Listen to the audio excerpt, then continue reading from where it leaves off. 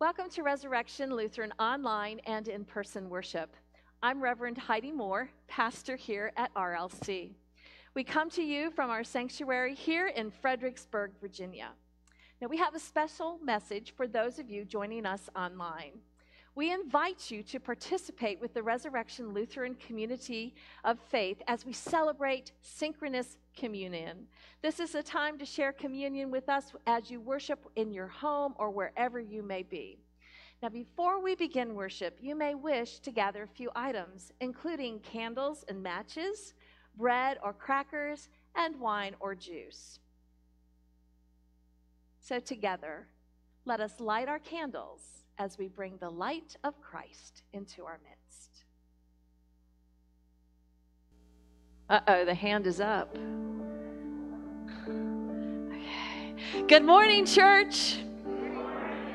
And welcome to Resurrection Lutheran in person and online on this 13th Sunday of Pentecost. We are delighted that you have joined us, whether you be right here on the campus of RLC across the street, across town, even across the country, and from around the world. Whether you're here in our sanctuary or in another location, let us know that you are here through our Facebook chat. And I encourage those here on the RLC campus to use your handheld devices and communicate with those joining us on Facebook. Be sure and always be sure to like us and follow us to be notified of special events and worship opportunities. Resurrection is a faith community reflecting the love of Christ through reaching out to each other, loving God through our worship and praise, and caring for all of God's children and creation. Now, the Rappahannock Area Health District, of which we are a part, reports a COVID 19 community level as medium as of September 2nd. So, we here at RLC do follow the current guidelines for community transmission levels. So, when the level is at medium, CD, CDC asks us to consider wearing a mask if we're going to be near people who are immunocompromised. Stay after worship for Koinonia Cafe, and then our first fellowship forum, which features Bob Kukuk presenting on artificial intelligence and society. And we have got a big Sunday next week as we participate in God's work in our hands. Sign up sheets are available for each project, and links are active in the RLC update. And we'll start with worship at 10 a.m followed by a light lunch at 11:30 and then we're off to work on one of two projects. One of them is landscaping at Chancellor Elementary School. Before the pandemic, we put in some landscaping over there, and so now we're going to be able to go over and freshen up that landscaping and provide a nice welcome for all the kiddos who go to school there. And then we're bagging breakfast. So we, I call them the breakfast baggers. And these breakfasts are for our neighbors who are served by Micah Ministries, um, uh, for, who are either um, home insecure or food insecure. Now, we are going to need a lot of items for those bags, and a, a, lot has already come in. But the complete list is in the RLC weekly update, and of course, we need lots of you signing up to do this. So on Sunday, September 11th, come to church dressed in work clothes. I understand that that might not feel quite right for a lot of folks, so just bring a change of clothes. And this is a wonderful event, so we want you to invite your friends to come and work alongside of us as we do God's work with our hands. Our Wednesday Women's Bible Study group meets on Wednesday at 9:30 a.m. and this group meets both online and in person on our campus here and they continue to examine what it means to be Lutheran using the book Being Lutheran Today, a Lay Person's Guide. And we've been having a lot of fun with this. We, um, and so it is available on Amazon. It is by Reverend Edwards and Reverend Luter, and it has sparked a lot of conversation. Join us in prayer by putting your prayer requests in the Facebook chat. We ask that you submit them before the end of the sermon. And uh, for those of you, again, you can put your prayer requests in the Facebook chat if you didn't um, do that when you signed in today. You can find out more about RLC, about de- details for all activities, as well as links by reading the latest edition of the RLC Weekly Update that is posted on our website and on our Facebook page. The leading worship today is the Chancel Choir as well as praise team. And we welcome back Sue Bridges, who is our guest accompanist today. So let's give you a nice round of applause. We are so glad to have you back. Thank you. Thank you. Our video production team is Dave Evers on sound, Robert Schul is behind the camera, and Jeff Slunt is working our visuals. And I'm Reverend Heidi Moore. I'm pastor here at Resurrection. So we gather in the name of the Father and of the Son and of the Holy Spirit. And I invite you all to rise and sing together our call to worship, Shall We Gather at the River? The words are in the bulletin and on the screen. Please stand again as you are called or feel able.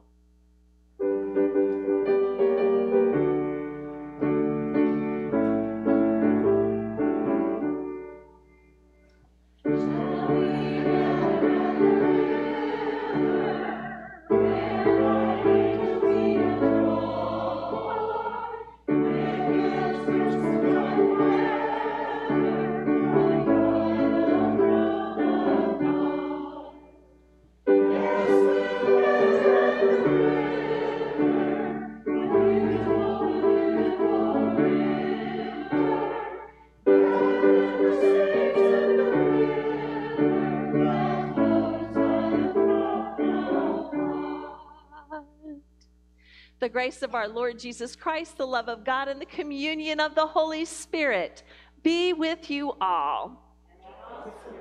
Let us continue with confession and forgiveness. Blessed be the Holy Trinity, one God, whose steadfast love endures forever. Amen. Let us confess our sin in the presence of God and of one another.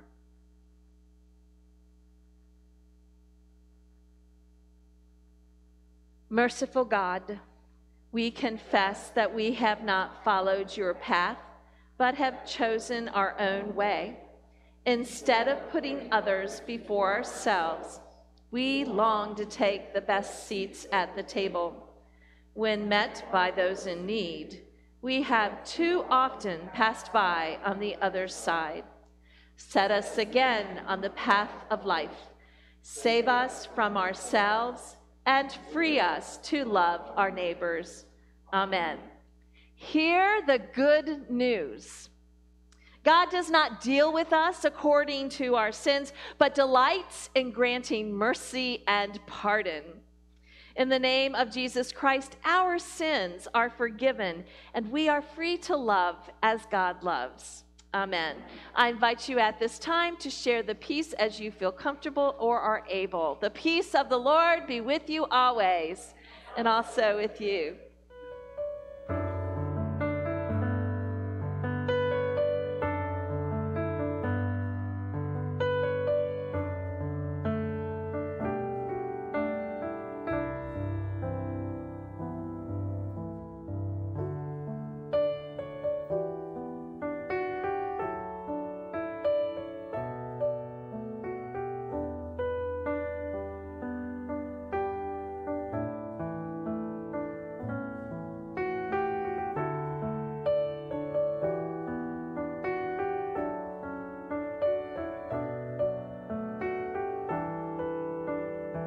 Really foreign, but again, you know, pull out those handheld devices. It's okay to use them in church. again, the peace of the Lord be with you always. Let us continue by singing our gathering hymn, O God, beyond all praising.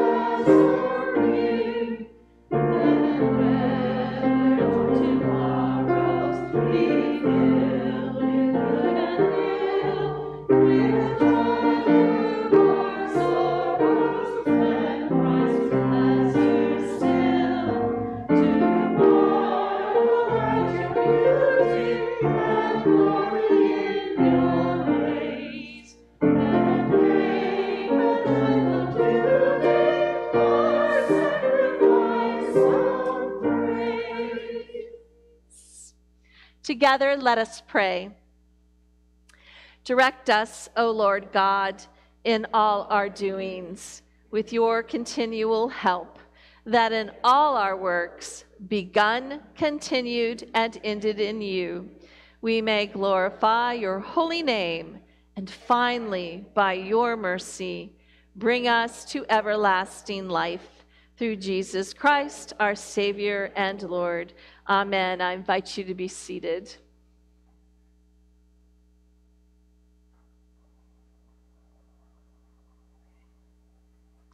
A reading from Jeremiah, the 18th chapter. The word came to Jeremiah from the Lord Come, go down to the potter's house, and there I will let you hear my words. So I went to the potter's house, and there he was working at his wheel. And the vessel he was making of clay was spoiled in the potter's hand, and he reworked it into another vessel as it seemed good to him. Then the word of the Lord came to me Can I not do with you, O house of Israel, just as this potter has done? Says the Lord. Just like the clay in the potter's hand, so are you in my hand, O house of Israel. At one moment, I may declare concerning a nation or kingdom that I will pluck up and break down and destroy it. But if that nation concerning which I have spoken turns from evil, I will change my mind about the disaster that I intended to bring about. And at another moment, I may declare concerning a nation or kingdom that I will build and plant it but if it does evil in my sight, not listening to my voice, then I will change my mind about the good I had intended to do. Now, therefore, say to the people of Judah and the inhabitants of Jerusalem, Thus says the Lord Look, I am a potter shaping evil against you and devising a plan against you. Turn now from all your evil ways and amend your ways and your doings the word of the Lord. Thanks be to God.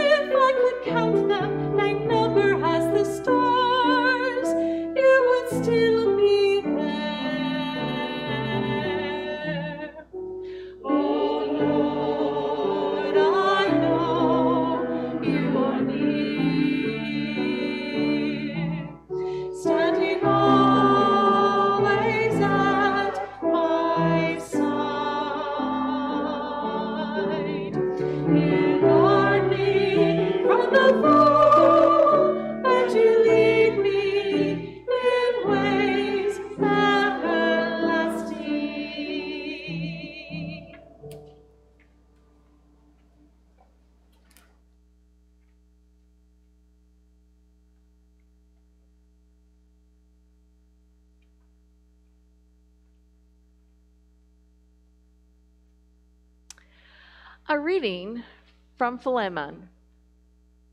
And Paul is writing this letter to his friend. Paul, a prisoner of Christ Jesus, and Timothy, our brother, to Philemon, our dear friend and co worker, to Apphia, our sister, to Archippus, our fellow soldier, and to the church in your house. Grace to you and peace from God our Father and the Lord Jesus Christ. when I remember you in my prayers, I always thank my God because I hear of your love for all the saints and your faith toward the Lord Jesus. I pray that sharing that the sharing of your faith may become effective when you perceive all the good that we may do in Christ. I have indeed received much joy and encouragement from your love, because the hearts of the saints have been refreshed through you, my brother. For this reason, though I am bold enough in Christ to command you to do your duty, yet I would rather appeal to you on the basis of love. And I, Paul, do this as an old man and now also as a prisoner of Christ Jesus. I am appealing to you for my child Onesimus, whose father I have become during my imprisonment. Formerly he was useless to you, but now he is indeed useful both to you and to me. I am sending him, that is, my own heart, back to you. I wanted to keep him with me so that he might be of service to me in your place during my imprisonment for the gospel. But I prefer to do nothing without your consent, in order that your good deed might be voluntary and not something forced. Perhaps this is the reason he was separated from you for a while, so that you might have him back forever no longer as a slave, but more than a slave, a beloved brother, especially to me, but how much more to you, both in the flesh and in the Lord. So if you consider me your partner, welcome him as you would welcome me. If he has wronged you in any way or owes you anything, charge that to my account. I, Paul, am writing this with my own hand. I will repay it. I say nothing about you owning me, even your own self.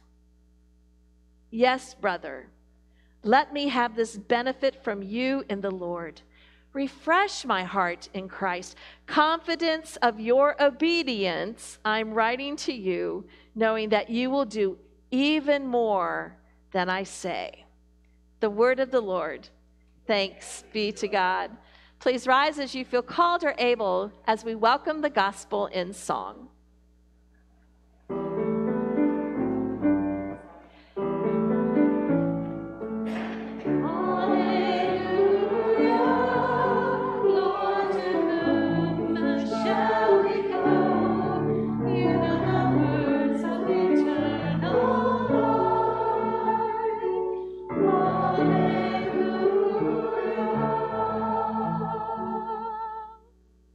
The Holy Gospel according to Luke, the 14th chapter. Glory to you, O Lord.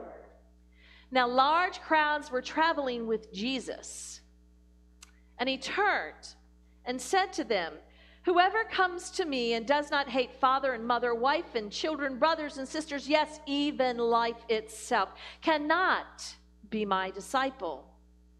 Whoever does not carry the cross and follow me cannot be my disciple. Now, for which of you, intending to build a tower, does not first sit down and estimate the cost to see whether he has enough to complete it? Otherwise, when he has laid the foundation, is not able to finish, all who see it will begin to ridicule him, saying, This fellow began to build and was not able to finish. Or what king going out to wage war against another king will not sit down and first consider whether he is able with 10,000 to oppose the one who comes against him with 20,000? If he cannot, then, while the other is still far away, he sends a delegation and asks for the terms of peace. Therefore, None of you can become my disciple if you do not give up all your possessions. The gospel of the Lord. Praise to you, O Christ. And I invite you to be seated.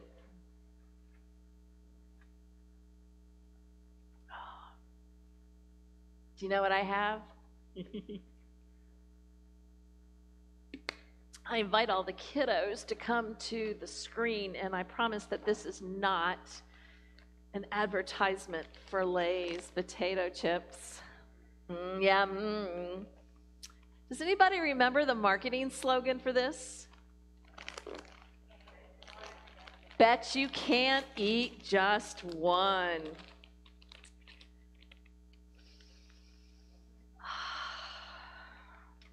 Oh my.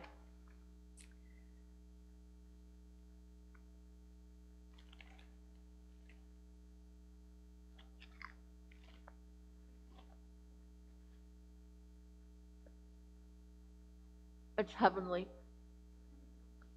I don't have a lot of chips around my house. I try not to eat them. And I know that once the bag is open, they're gone. They're absolutely gone. But boy, was this good. You know, we have a lot of temptations in life and a lot of choices that we have to make. So I have a choice whether I go digging in this bag and lose the bet if I can't eat just one, or I have the, cho- I have the choice to say, okay, I'm not going to do that. But here's the thing no matter what our choice is, God is with us. God is with us. And He does not leave us. And he stays with our choices, stays with us in our choices, whether they're whether we make good life choices or bad life, life choices, or seriously contemplate taking another chip out of this bag. Amen. Those will be um, in the Koinonia Cafe. Immediately following this worship service.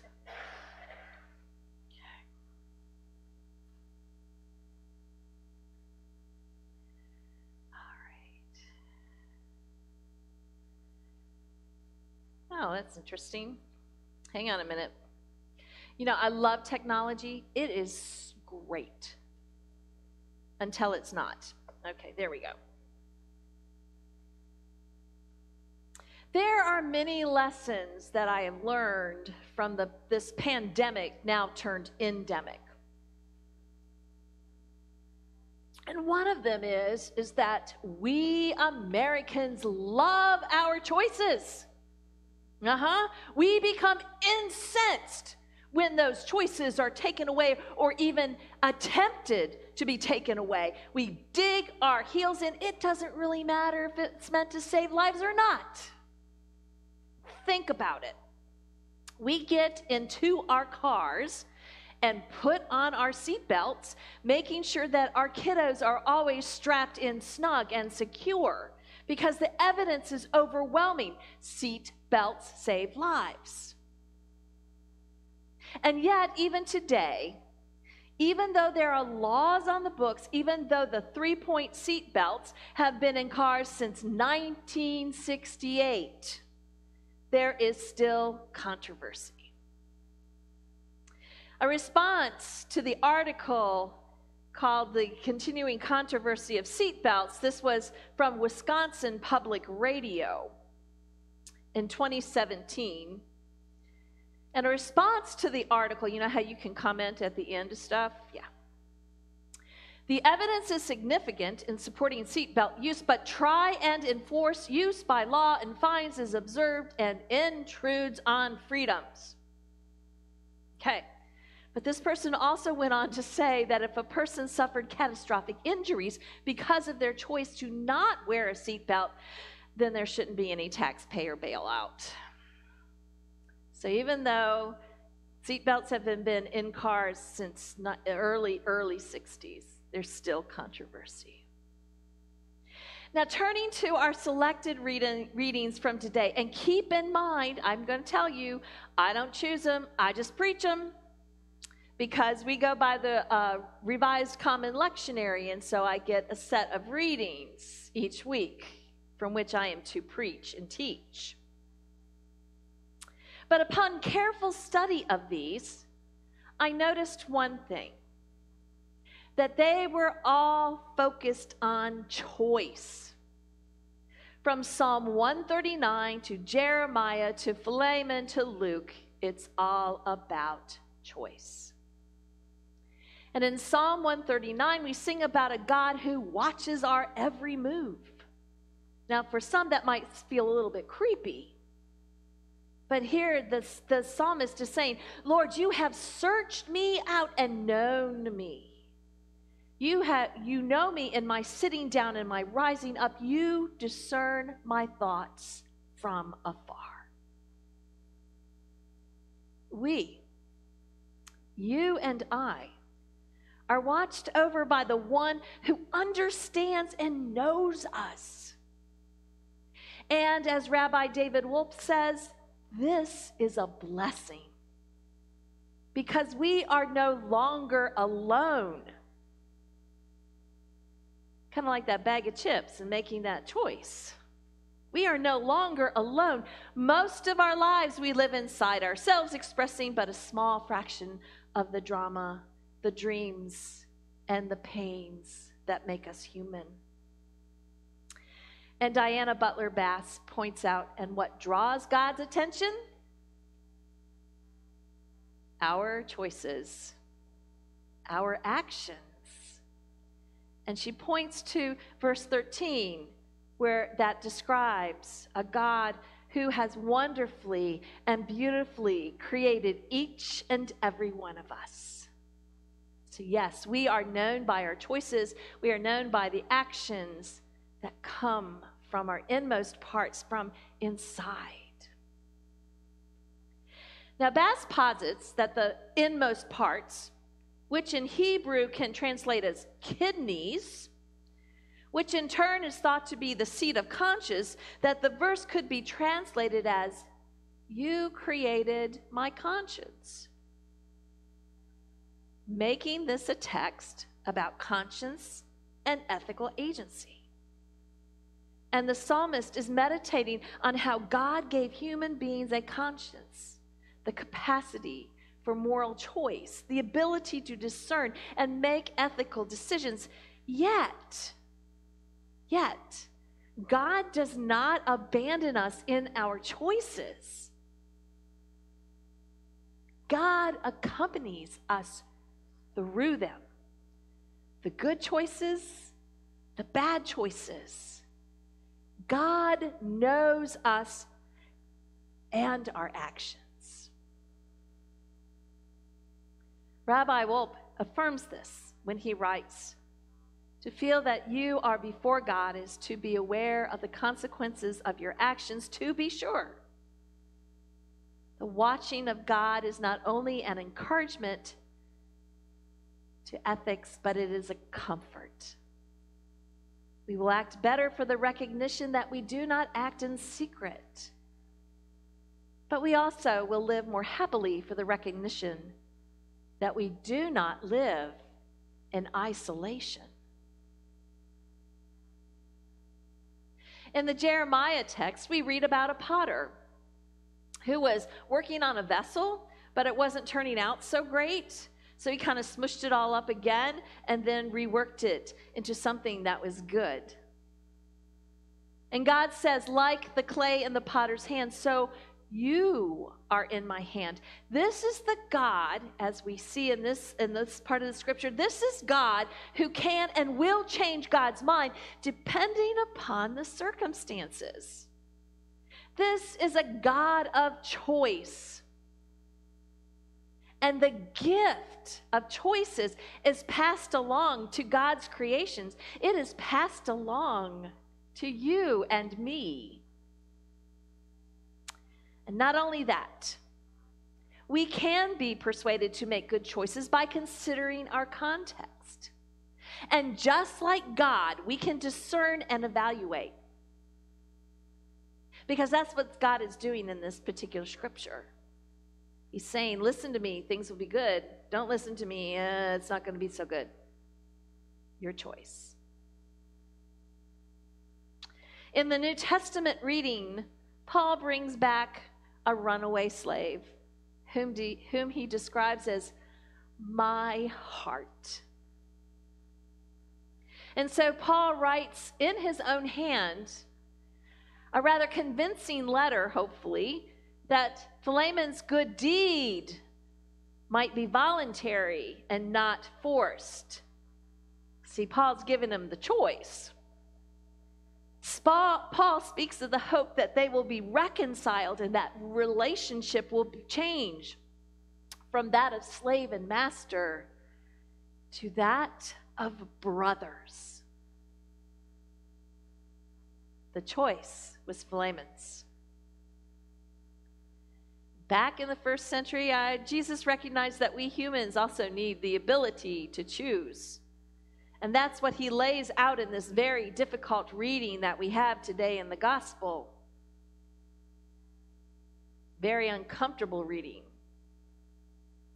Now, requirement to be a disciple, requirement one seems simple enough, but it is also dramatic. Hate your mother, father, brother, sister, wife, children, even your own life. Now, the first century ear would have heard the word hate a bit differently. We here in the 21st century, in our context, equate hate with attack and harm and death and emotion. But for the first person, first century person, it is an action meaning literally to detach oneself from or turn away from something or someone. This is drastic. When you consider in the first century that without a family, you were nothing. You were nothing without a family. And there was no such thing as I, and the blood t- and blood ties were very, very important. No family equaled no social existence. And this is what made being a widow or an orphan or a stranger so bad. They had no family, there was no one on whom they could rely. And so it's really radical and countercultural stuff when Jesus says that they must be able just to walk away from their families. But it gets better. Requirement number two carry the cross. While we may think that the cross was there for capital punishment for heinous crimes, for the first century person living under Roman occupation, it was meant to keep the conquered populace in line. To be told to go willingly over to a cross and carry it, presumably to your death, you could hear the gasp coming from those first century listeners. Requirement number three is do the math. In other words, count the cost. Jesus uses two analogies the builder and the king considering a battle. Can the builder finish the tower? Can the king win the battle? See, Jesus is asking the crowd, and Jesus is asking us too do you want to make this journey? Can you fight the battle that is coming? Can you build the tower that Jesus wants us to build? Are we committed to the transformation and are we willing to invest all, all that it will take to do it?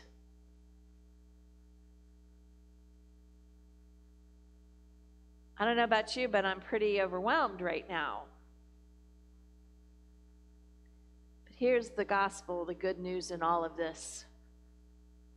We already have the grace and the forgiveness through the love of God in Christ. The reality is, is that the Christian life is expensive. We're called to expend time and talents and treasures to build the kingdom of God. So we do a cost analysis. Requirement number four give it all up, be all in. Is being a disciple the number one priority in your life? That's what Jesus is asking. This requirement is so radical because Jesus is asking the question of us Who and whose are you? Whose and whose are you? You see, there's a baptism tie in here because when we are baptized, our last names are not used. Have you ever have you ever noticed that our last names are not used? And the reason is that even though we are not renouncing our familial ties, okay, they are no longer the most important thing.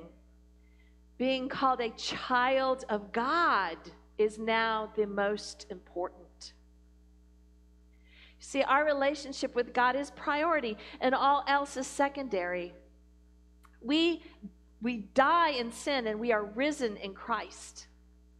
And yes, Jesus expects us to be an all in as a disciple. Now, I will tell you that there's an interesting aspect that gets lost in this translation of our scripture today. We read, not able to be my disciple, but rather we can read it as something that we really, really, really want to do, but aren't quite sure that we can do it. Does that mean that we will never, ever, ever be able to be disciples? Because we can't fill, fulfill those four requirements no matter how hard we try and no matter how deep our desire is to be one? Perhaps.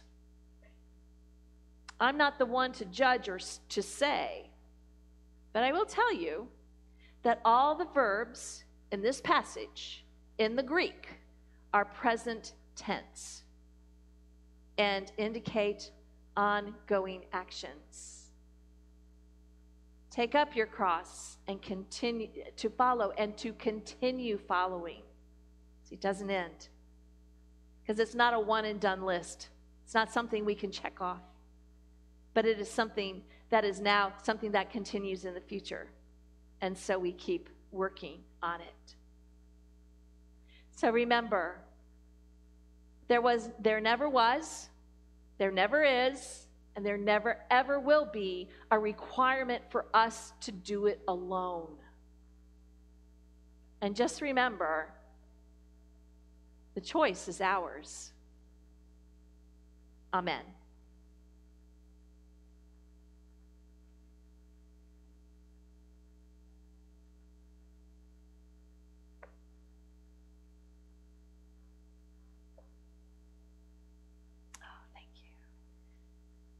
We continue with our, our hymn of the day.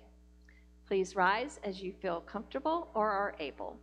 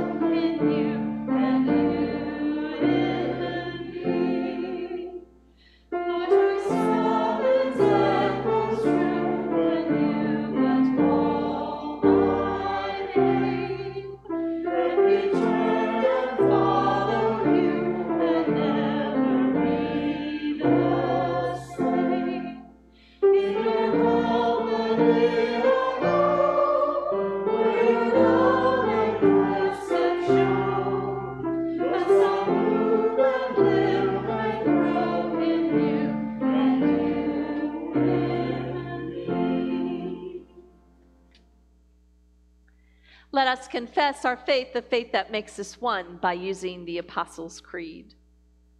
I believe in God, the Father Almighty, creator of heaven and earth. I believe in Jesus Christ, his only Son, our Lord. He was conceived by the power of the Holy Spirit and born of the Virgin Mary.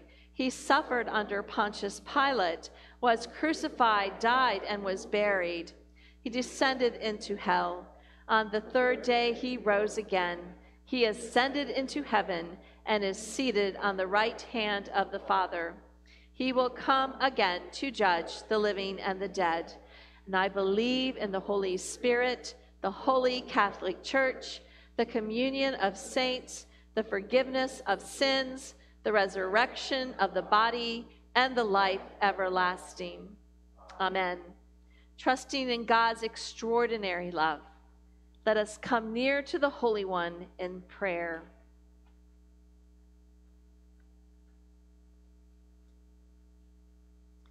We pray for the ch- church around the world and for the mission of the gospel.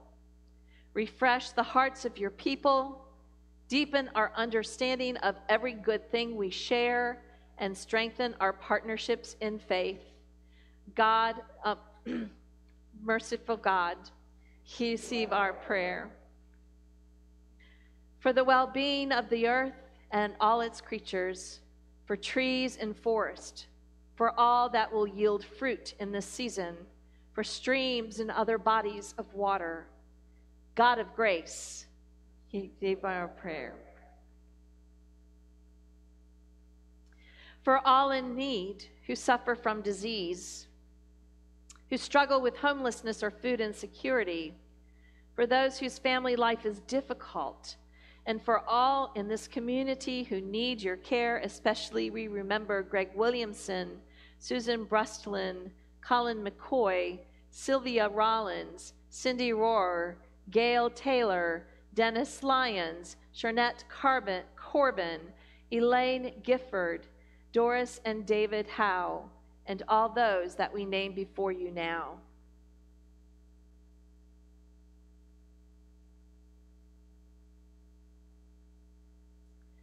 Merciful God, receive our prayer for this community of faith, for all our labors, begun, continued, and ended, ended in you, that they glorify your holy name. Bless your people with the strength to live into their many vocations for the sake of the world. God of, gra- God of grace and merciful God, receive our prayer. We give thanks for the saints who now rest from their labors. Give us faith like them to love you with all our hearts, and by your mercy, bring us to everlasting life. Merciful God, receive our prayer. Gathered together in the sweet communion of the Holy Spirit, gracious God, we offer these and all our prayers to you through Jesus Christ, our Savior and Lord. Amen. I invite you to be seated.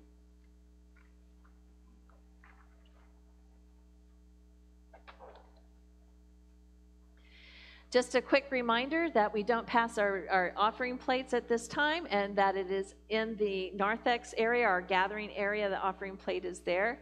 And for those of you who prefer to give online, like I do, um, the QR codes are on the back of our bulletin and they'll come up on the screen as our choir uh, gives their offertory today.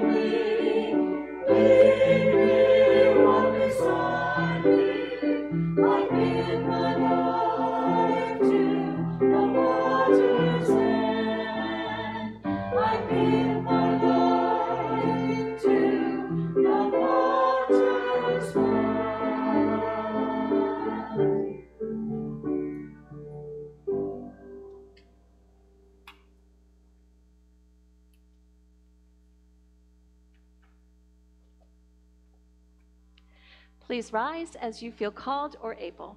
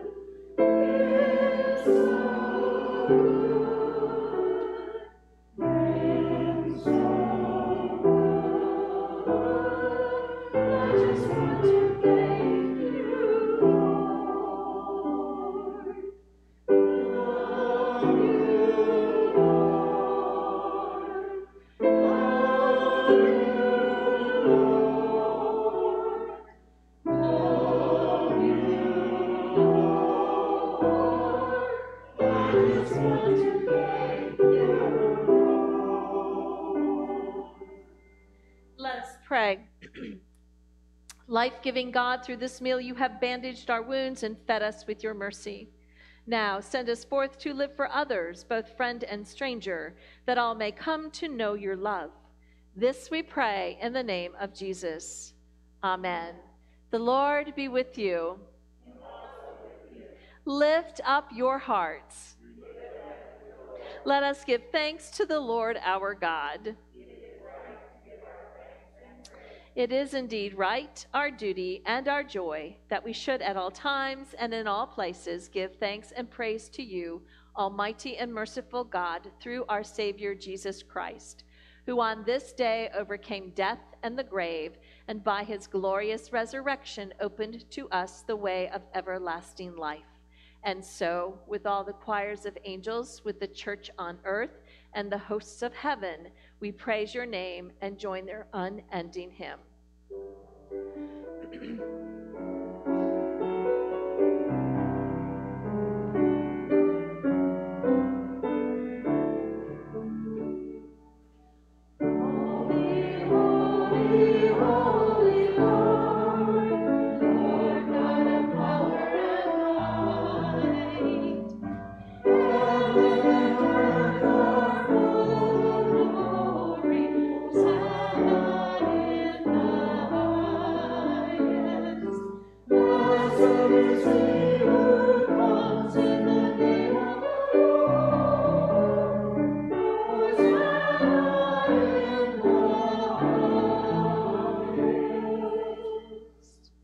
the night in which he was betrayed, our Lord Jesus took bread and gave thanks and broke it and gave it to his disciples, saying, Take and eat. This is my body given for you. Do this in remembrance of me.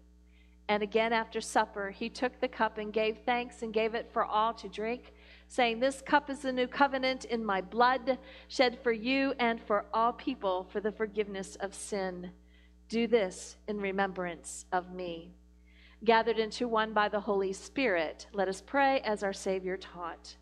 Our Father, who art in heaven, hallowed be thy name. Thy kingdom come, thy will be done on earth as it is in heaven. Give us this day our daily bread, and forgive us our trespasses as we forgive those who trespass against us. And lead us not into temptation but deliver us from evil. For thine is the kingdom and the power and the glory forever and ever. Amen. In Christ's presence, there is fullness of joy. Come to the banquet. All is prepared. I invite you to be seated. Come to this table. Christ does not care who we are or what, uh, what we are. He simply bids this to come to his table of love. And when Christ says all, he means all. Amen. As we sing Lamb of God, for those who have chosen to receive communion in your places, please prepare your communion at this time.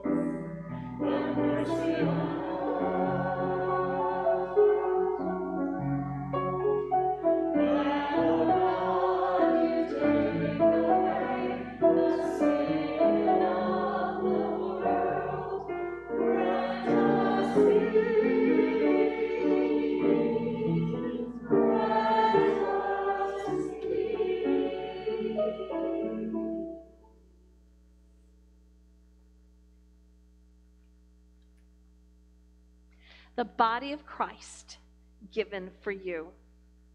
Amen. The blood of Christ shed for you. Thanks be to God. As you come up for communion, for those who are in our, our uh, worship space here, we remind you to come up the center aisle, exit by the side aisles. There is grape juice there in the in the um, tray, and our uh, gluten-free uh, wafers are up here.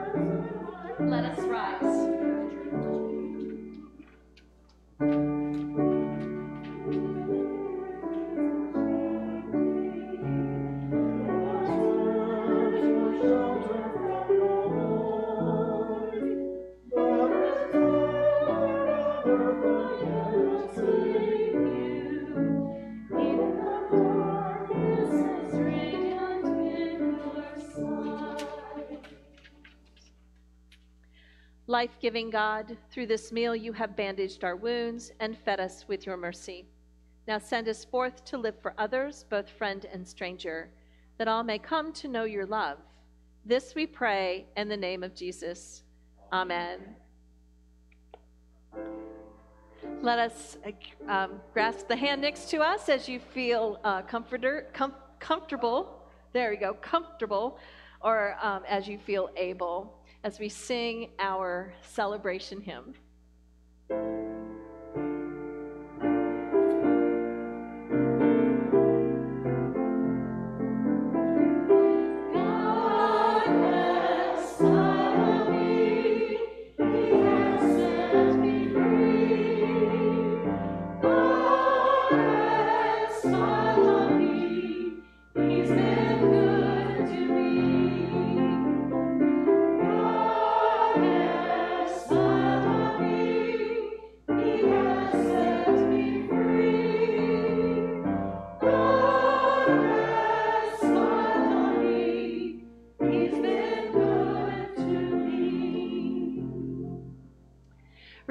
The blessing.